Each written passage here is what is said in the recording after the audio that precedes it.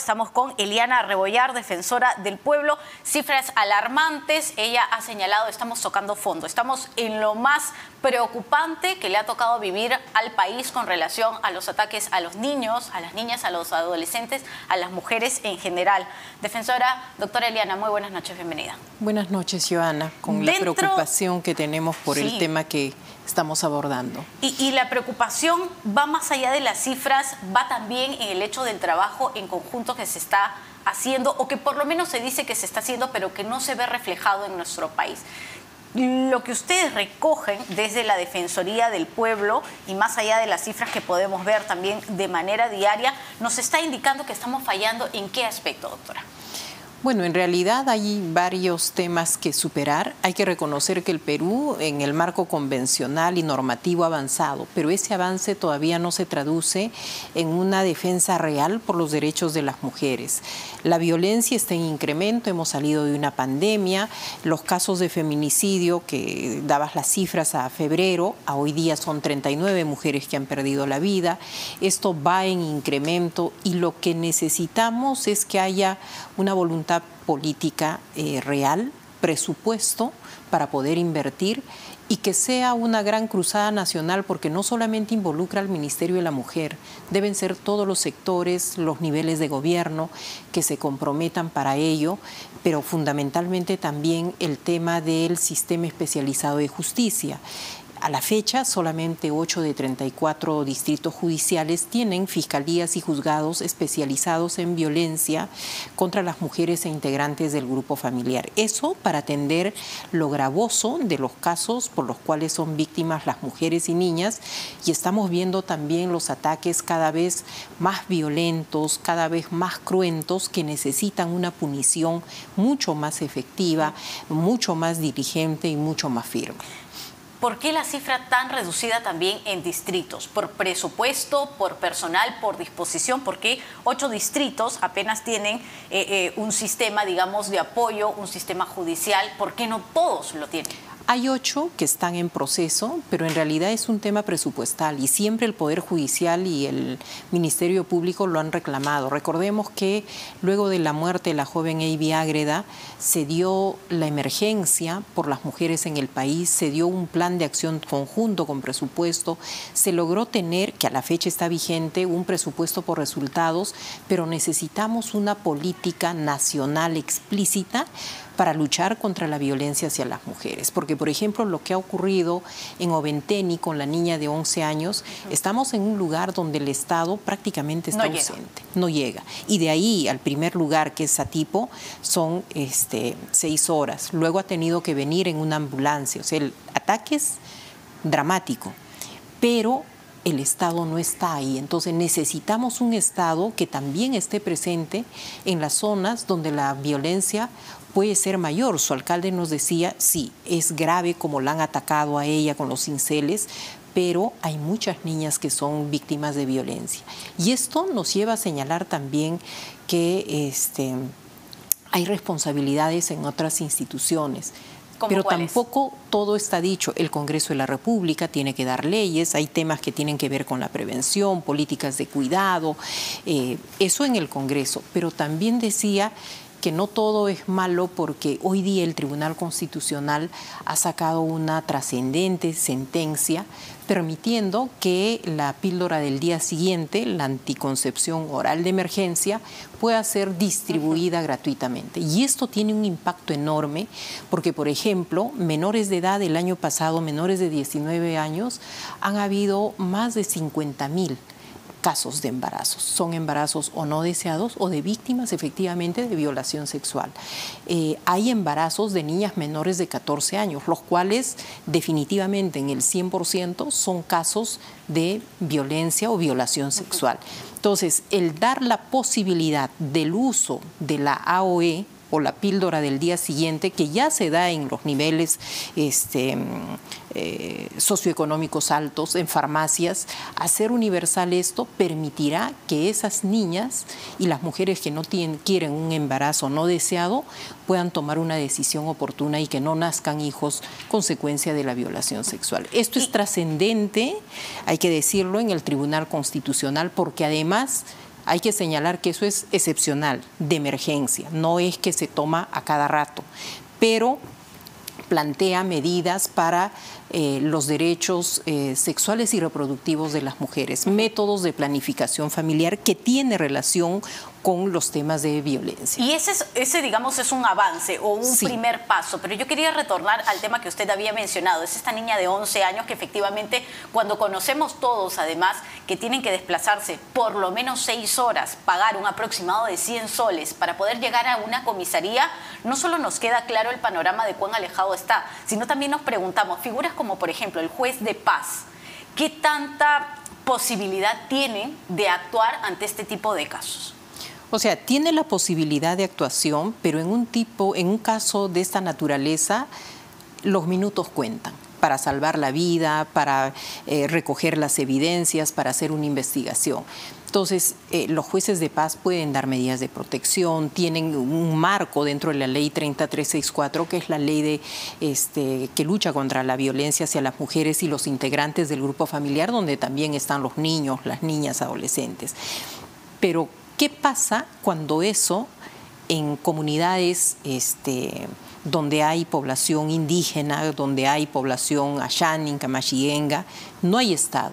Obviamente estas prácticas se van a extender y eh, la sensación de impunidad es lo que está primando. Entonces sí se necesita, y hemos hecho las coordinaciones para que el alcalde sea recibido por este, el ministro del Interior, si no hay una comisaría por el nivel mínimamente de que hayan patrullas, de que el Estado llegue, de que haya campañas de salud, no pueden estar estas comunidades abandonadas. Entonces, acá hay un tema de fondo para el tratamiento de la violencia, pero también de cómo el Estado se hace presente con políticas preventivas, con políticas de atención y un tema importante, la salud mental la salud mental también debe ser parte de una política nacional mucho más sólida y consistente. Lo que duele, lo que llama la atención cuando revisamos las cifras, cuando conocemos estos casos como esta pequeña de 11 años, es que muchas veces es el entorno más cercano.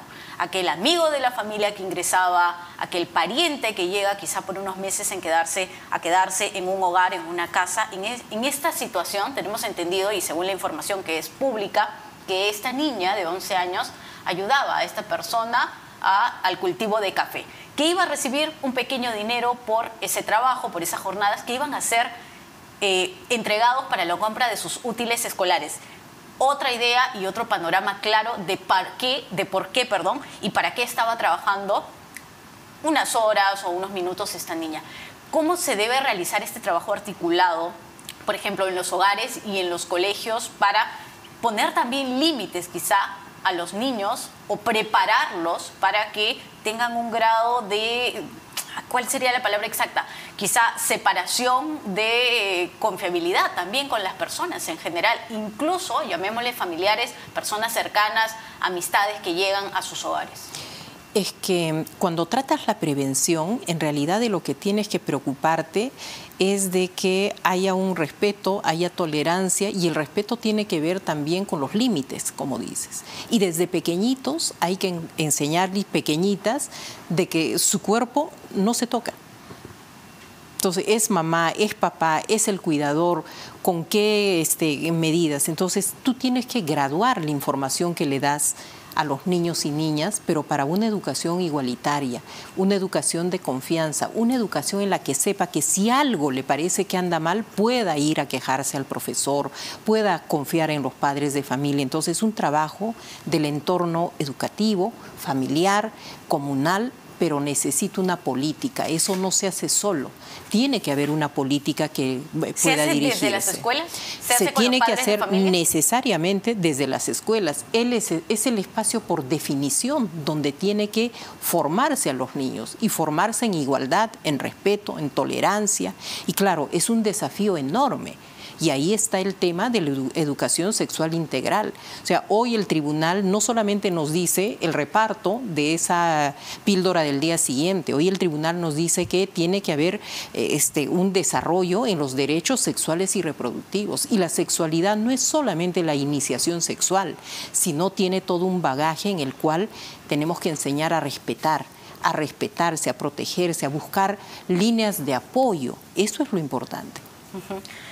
¿Qué trabajo o cuánto se ha mejorado el trabajo articulado de lo poco que se puede dar?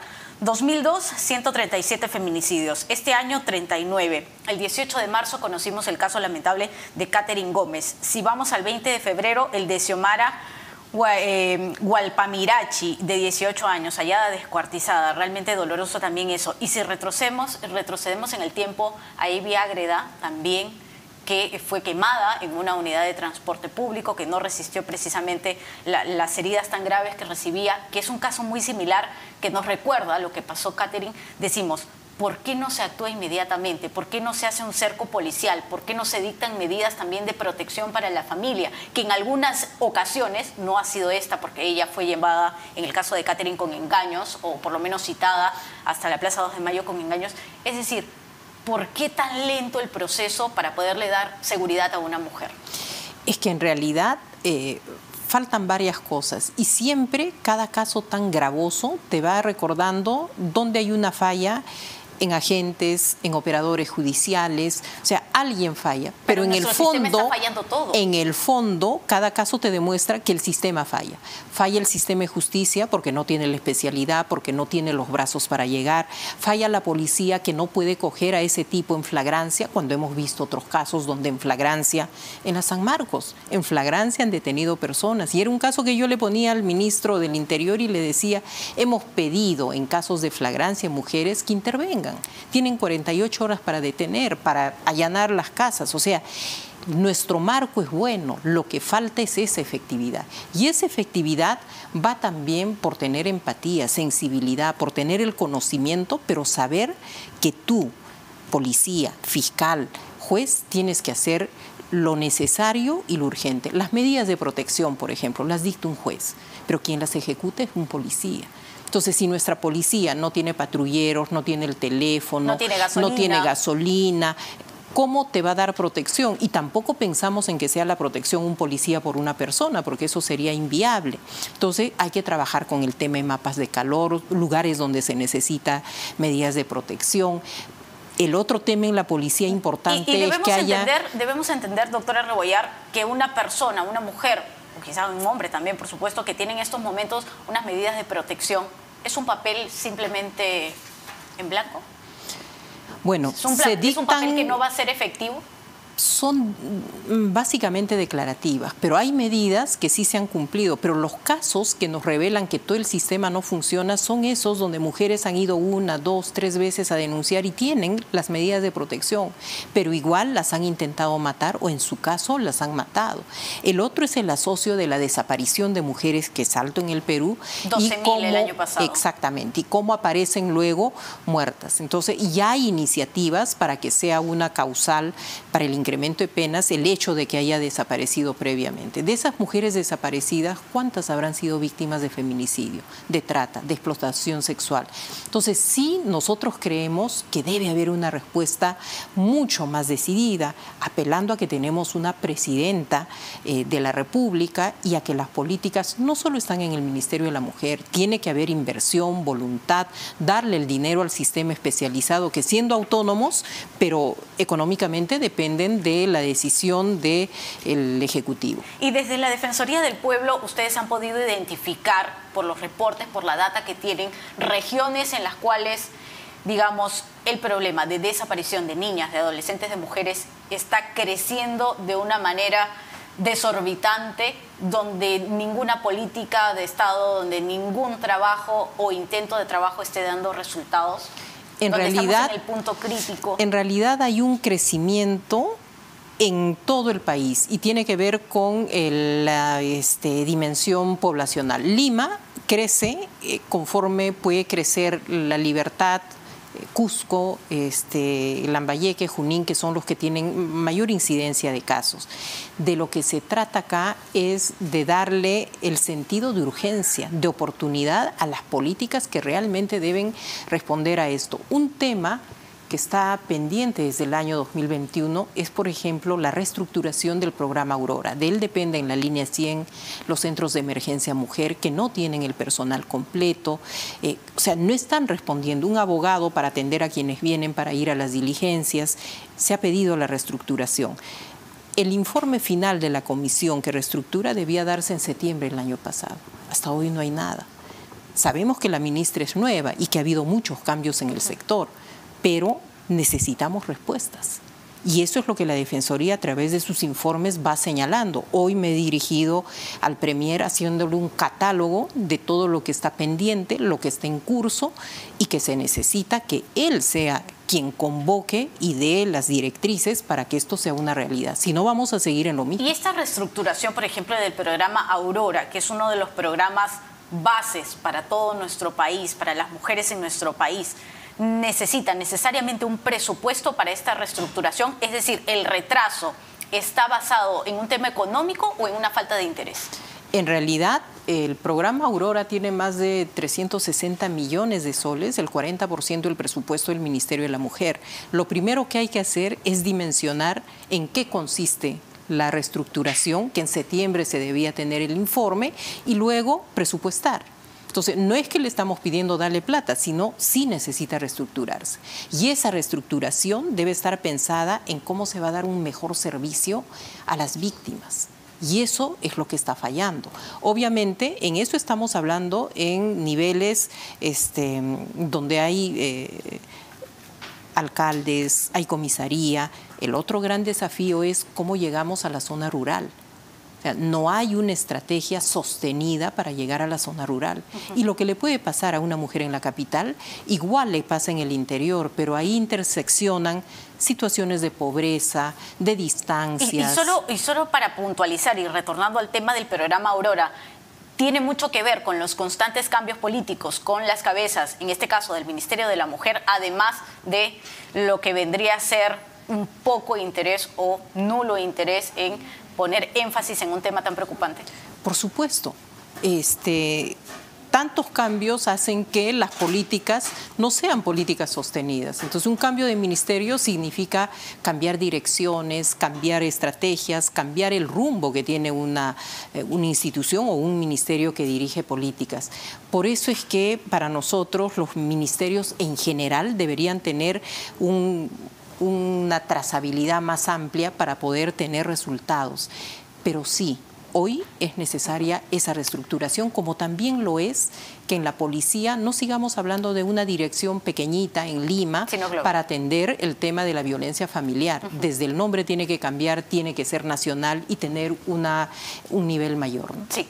Doctora Rebollar, le pido unos minutos, tenemos que hacer una pausa, volvemos, estamos conversando con Eliana Rebollar, defensora del pueblo.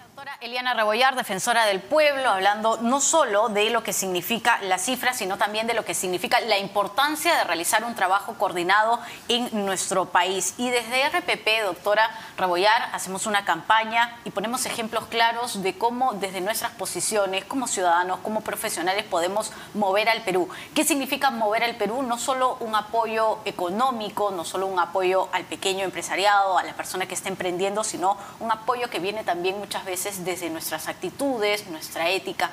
En su caso, doctora Rebollar, ¿cómo mueve al Perú? Le, pregunto defendiendo derechos, porque haya una ampliación de ciudadanía, por fortalecer las bases de la democracia, pero también por un desarrollo sustentable que no olvide a las personas en situación de vulnerabilidad. Un ejemplo claro de su trabajo. Muchas gracias por estar con nosotros. De todo se sabe, era la doctora Eliana Rebollar y esperemos, esperemos pronto más bien, en vez de estar hablando de feminicidios, de trabajos de campaña que sean efectivas y efectivas, por supuesto, en cifras. Hacemos una pausa breve.